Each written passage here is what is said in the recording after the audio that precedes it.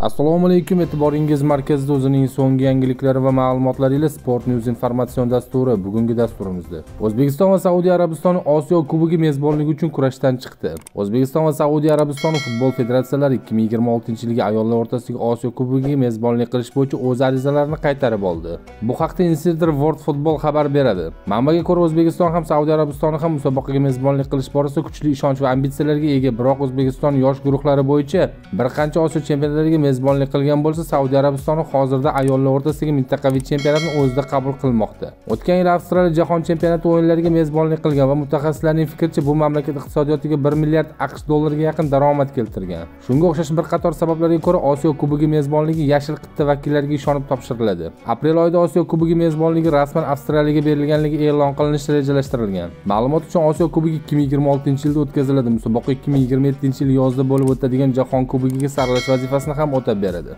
Ushbu holatga biz o'z shaxsiy fikrlarimizni bildiradigan bo'lsak o'zbekiston har yilgi chempionatlar uchun ariza topshirishdan qochmasligi lozim. Negaki o'zbekistonda o'tkaziladigan har qanday chempionat o'zbekiston manfaati va o'zbek futboli uchun yuksak o'sishlarni olib kelishiga umid qilamiz.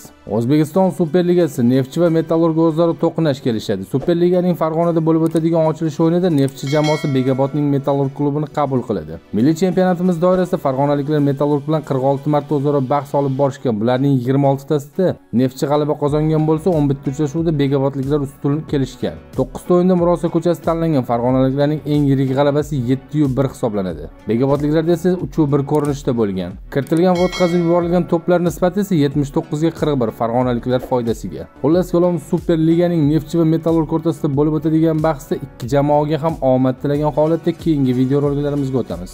Ana xolos bu yilgi super ligada o'z omadsizligi bilan start olgan bunyodkor jamoasi 22 mart kuni siska bilan o'ynaydi. 22 mart kuni moskvaning siska klubi bunyodkor bilan o'rtoqlik uchrashuvi o'tkazadi. O'yin toshkent vaqti bilan soat 21:00 da boshlanadi va siska stadionida bo'lib o'tadi. Siska rossiya premyer ligasi jadvalida 4 o'rinda bormoqda. Bunyodkor o'zbekiston chempionatida so'nggi 14 o'rinda bormoqda. Eslatib o'tamiz abbosbek fayzullayev o'ynayotgan siska klubi rossiya kubogi bir to'l finalda rostovni mag'lub etgandi. Biz bunyodkor jamoasiga omad tilab qolamiz.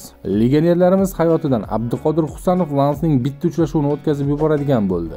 Lans himoyachisi abduqodir husanov jamoasining bitta bahsini o'tkazib yuboradi. Fransiya futbol federatsiyasi tartib intizom qo'mitasining qaroriga ko'ra 10 ta uchrashuvda 3 ta sariq kartochkasini olgan abduqodir husanov bitta o'yinga diskvalifikatsiya qilinadi. Ushbu qaror fransiya chempionati fransiya kubogi va fransiya liga kubogi bahslariga tegishli bo'ladi. Ushbu qaror 19 mart kunidan kuchga kiradi. Shu bois husanov 16 mart kuni nitsa qarshi bo'ladigan o'yinda ishtirok etishi mumkin. U 30 mart kuni bo'lib o'tadigan lilga qarshi uchrashuvni o'tkazib yuboradi. Eslatib o'tamiz abduqodir husanov o'zbekiston terma jamoasining mart oyidagi yig'iniga taklif etilgan. Biz abduqodir husanovning faoliyatiga omad tilab qolamiz. Shu bilan bugungi videoroliklarimizga yakun yasaymiz keyingi videoroliklarda ko'rishguncha xayr sog' bo'ling salomat bo'ling. Kommentariyada o'z fikrlaringizni qoldirishingiz mumkin.